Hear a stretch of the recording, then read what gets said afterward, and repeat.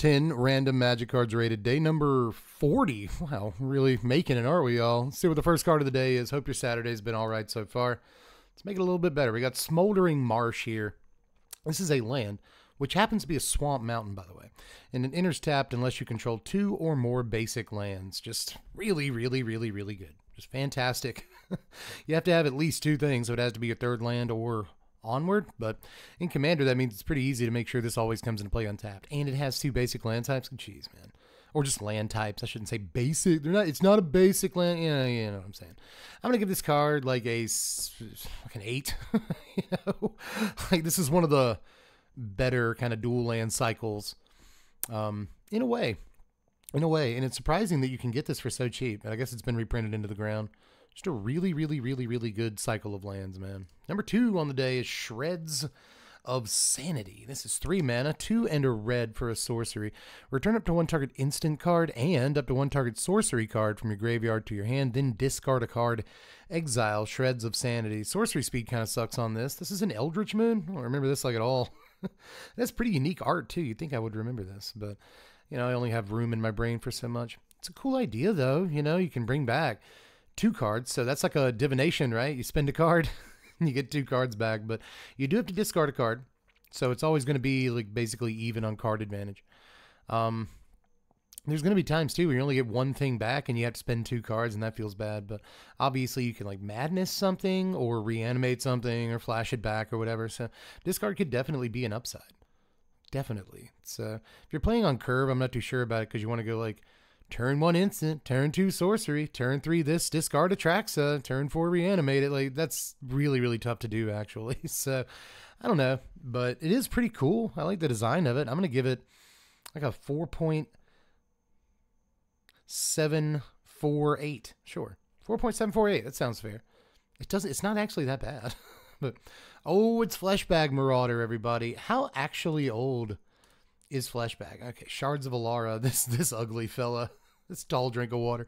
This is three mana, two and a black for a 3 1 Zombo Warrior. When it comes into play, each player sacrifices a creature. Uh, Fleshbag Marauder is probably the creature that has been most sacrificed to this ability throughout time. You know, you just sacrifice your own Marauder. But sometimes you have a token or something like that, or a creature you want to sacrifice. Obviously, it triggers all the you sacrificed a guy and all the death triggers and stuff in Aristocrats. Just a cool card that sees play in most aristocrats decks, or at least some version of this effect does, because they printed kind of better versions at this point. Plaguecrafter and stuff like Plague Bearer, Plaguecrafter. Either way, they they printed better versions of this effect at this point, but still good, still tried and true, still a good creature type too. So I'm gonna give Marauder like a six point two, man. A playable magic card for sure. But we'll move on to Ethersworn Adjudicator. Five mana, four and a blue for a 4 4 Vedalken Knight. It's an artifact creature with flying. You can pay three mana, it's one and Orzhov colors, and tap this to destroy a creature or enchantment. All right. You can also pay two and a blue to untap it. So Whew, that's a beast of a card right there. First printed in Conflux, but it's been in a few Commander products since then. Um, I remember when this was a thing, uh, mostly in like old school Commander a while, while back, but haven't really seen it in a while. Um, I was gonna say they print it in a, a, bunch of Commander products. I feel like all I could, all I have to do is look to my right, and like there it is, has been printed in multiple Commander products. I have the Brothers War Commander set, so the two decks, right, uh, that are all in like Retro frames? Yep, it is. All right. Just making sure that I wasn't like losing my mind. but yeah, I've always loved this thing. But obviously it only goes in like very specific like Esper commander decks or whatever. So, you know, it's not in everything, but when you do get to play it, man, mm, if you've never untapped it and used it twice in the same turn or whatever, then sorry. It's just really this card's awesome. Um, reminds me of cards like you know, Royal Assassin from back in the day too. It's just I like a lot about this card, and it's also a four four flyer. Let's go. you tap you tap it down, kill something, untap it, swing. Let's go. So I like this thing. I will give it a six point four nine. We'll go with that. We'll do that. It is a little expensive, and what I don't. Who cares? I don't care. We'll move on to Distinguished Conjurer, 2 mana, 1 and a white for a 1 2 human wizard. Whenever another creature enters the battlefield under your control, you gain a life. You can also pay 4 and a white and tap it to exile another target creature you control and return it to the battlefield under its owner's control. So, good job in the art here. Nils Hamm, by the way, been printed in Jumpstart 2022 and Modern Horizons 3. You can get it for really cheap from MH3, and it's like a it's another, you know, Soul Warden kind of effect for those decks. We just saw a flying one printed at this mana cost in uh, Bloomburrow as I record this. Could be watching it 10 years from now, but you still know that card exists, right? Probably, maybe. These always have, you know, some relevance because life gain commander decks just can't get enough of this effect for the most part. But at two mana, they're never going to see play in like the Soul Sisters decks that really want these effects to cost one mana. You know what I mean? So cool card. Um, can't really give it more than like a 5.6, but I'm going to give it a 5.79. I am going to give it more than that. 5.79. Uh, cards like this are always good, and this one has the you know other effect of being able to trigger itself when you use its ability, and you know get cool ETB triggers again. So all that's awesome. Yeah, good card. Move on to Fire Elemental. Let's look at revised. Actually, let's go way back. Put on that Bobby Womack. I want to go way back. This is five mana, three and two red for a five-four elemental. That's the card. It isn't good. Classic Melissa Benson art. Um, another man. The cards back then, you know, eleven-year-old Dev would open a pack of Magic cards and be like, "I feel funny," you know. So, so good. I guess good job on the art, Melissa Benson. Um, I'm gonna give this card like a two. it's just not. Back then, it was like, dude, it has five power for five mana. Do you understand? Like, yeah, it's not good. we'll move on to Sulfur Vent, though. Um, this comes into play. Have we done this card? I feel like we may have. This is uh, I'm not sure.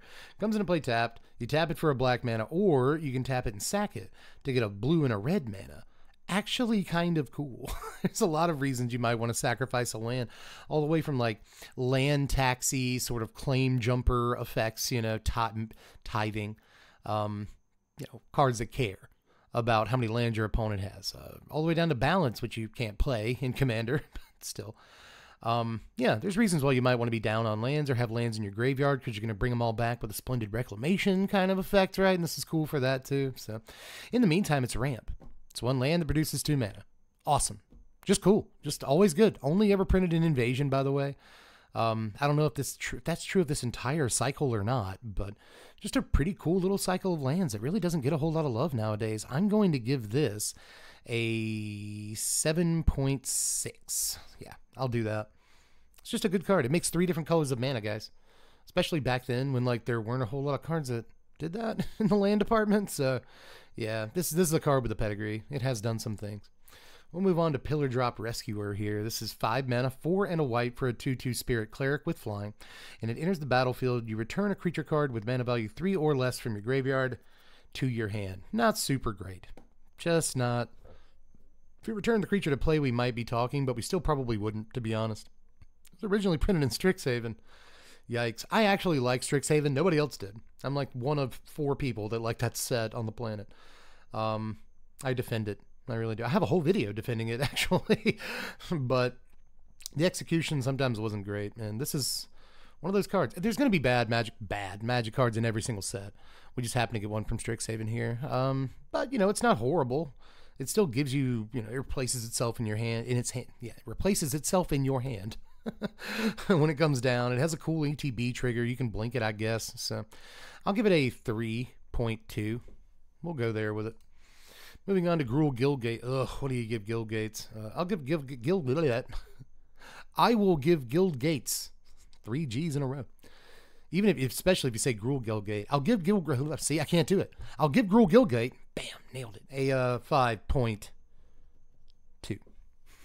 Basic lands get a five, right? So five point five for a Guildgate is what we'll go. We'll go. We'll go with that.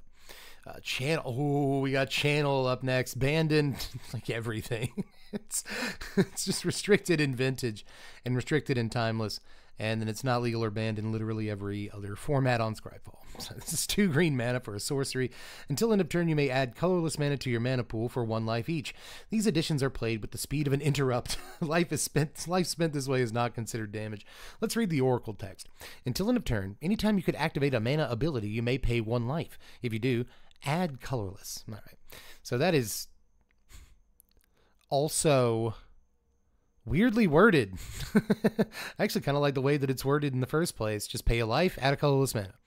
Uh, till end of turn, you you have that ability. You gain the ability. Pay a life, add a colorless. Um, this is part of probably the most infamous combo in the history of Magic.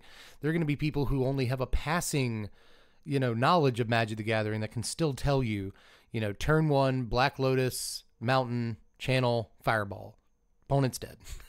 you know, like channel um 19 life plus the extra green mana from your Black Lotus uh, will be 20. X equals 20, right? And then tap your mountain to cast Fireball for X equals 20.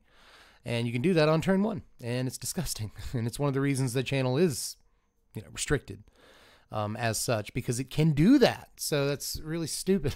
it's a dumb way to lose a game of Magic, but a really fun way to win one. Um, I'm told. I've never done it. So awesome card. Richard Thomas did great, by the way, on on this art. Um, fantastic. Man, it almost looks like a Quinton Hoover, doesn't it? But it's not. But it's, I was I was getting ready to say Quinton Hoover nailed it, but no. Just wonderful, magical, iconic magic card that um, is part of some of the most broken things you can do from the very start of the game. So I'm gonna have to give Channel a nine. Uh, just an absolutely busted card and a great one to end the day on, by the way. So let me know how you would rate Channel because that's kind of a weird one. I think people will say it's narrow, it deserves an eight point something, whatever. Or even less. If it's printed in standard, it wouldn't see any play. Yes, it would. Come on. yes, it would. Stop. so, yeah. Um, card's busted. Card's literally broken. If you can't tell by the legality in all these different formats, card is actually completely cracked wide open. So, yeah, what would you give channel? I wanna, I wanna know. And I'll also see you tomorrow, everybody. Have a good rest of your Saturday night. I have to turn the thing off. I always forget that I have to press record again, so I get to say bye again. Bye.